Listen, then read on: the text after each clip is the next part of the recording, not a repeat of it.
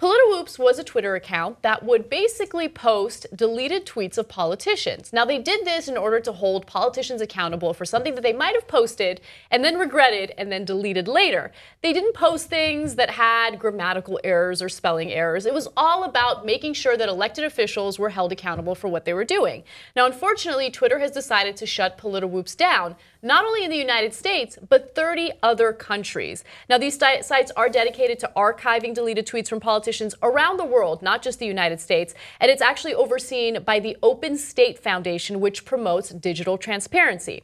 Now, Twitter gave an interesting reason for why they made this decision. They didn't say that they did this because they want to side with the politicians. They're just interested in protecting the features that everyone gets to enjoy, according to them. Here's what they had to say Imagine how nerve wracking, terrifying even, Twitter would be if it was immutable or irrevocable. No one user is more deserving of that ability than another. Indeed, deleting a tweet is an expression of the user's voice. Now, I don't know if I'm really buying this, and there are a bunch of other experts who completely disagree with Twitter's decision.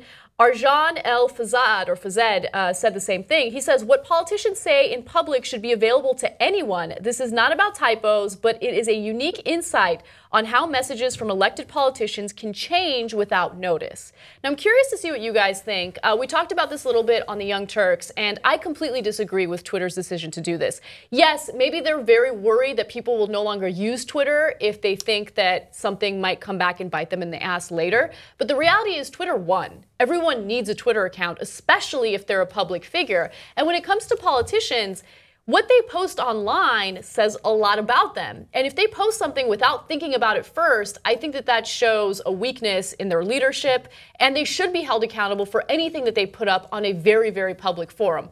Also, this extends to everyone in certain ways because regardless of what you think, if you post something online and then later delete it, it's very, very likely that that will still exist some mm-hmm. way, somehow. So no one's really protected after deleting tweets, even if Twitter says that they offer that feature. What do you guys think about this? Charlie, make your point. I think this is totally inexcusable on Twitter's um, part. I mean, Twitter was a great thing and still is for journalists and for politicians to state their point. Mm-hmm. But if you give politicians the option to remove that, uh, that just that eliminates a, pool, uh, a tool uh, to hold them accountable. Mm-hmm. Because if they remove a tweet that they may not agree with anymore, well, then you want to follow the money and yeah. see who donated to their campaign. If you want to get that uh, cynical about it, which a lot of people do and should, to be honest. Um, I don't. I don't know what they gain from this. I, I feel like they're they should have more um, support in the journalism side of things than the political side of mm-hmm. things.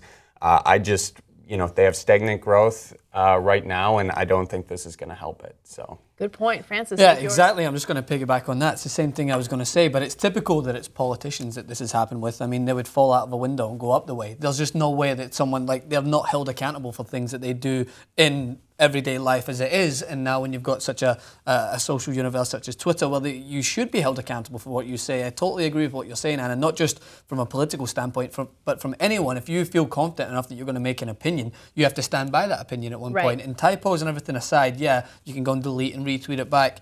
But if you're going to say something that, that means a lot to certain people who are, who are hanging on your every word to maybe help them economically or help them politically, then you need to be prepared to stand by that statement and not delete it when things maybe change down the future. So I agree. I think this is really shady on Twitter's part. Absolutely. Well, here's a personal question for the story. Have you ever posted something to social media that you later regretted? Francis, I'll start with you.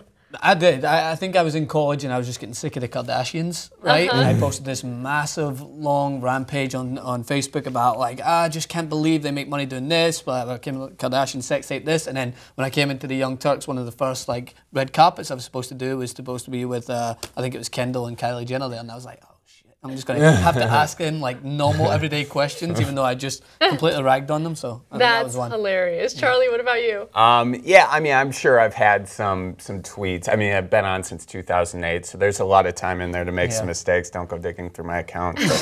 um, no, I think like when you're watching uh, the the debates or whatever, and you just rattle off some joke that you're like, oh, that was so funny. Like I did Ted Cruz and put a picture of Grandpa Munster next to him, oh like how that looks. But then you go on Twitter and you like it, everybody else has already done it, and you're like, okay. that's not the worst Bummer. thing in the world, though. Um, I actually had a terrible social media situation last night.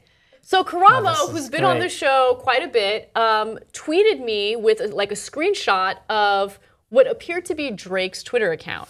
And it appeared that Drake had tweeted about a TYT clip that we did uh, regarding these two guys in Boston who beat up a homeless Latino man.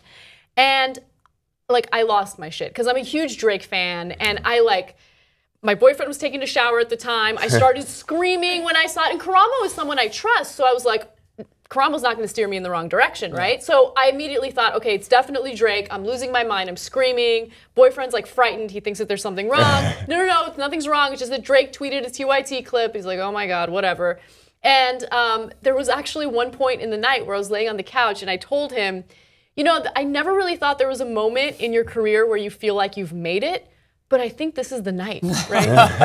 Later on, I found out that it was a Drake parody account. Oh, no. It wasn't Drake's account. And the reason why I'm saying it was a terrible social media situation is because I had screenshotted it and I shared it on every social media man. platform. I was so happy, and then later on, people were like, uh, "That's a parody account." Was it verified? I was so embarrassed. No, I'm an idiot. I'm an idiot. But that's the thing. When when something like that happens, you get so excited that you don't even want to verify it. You just want to be like, yeah, Drake's totally into me. We're gonna get married tomorrow.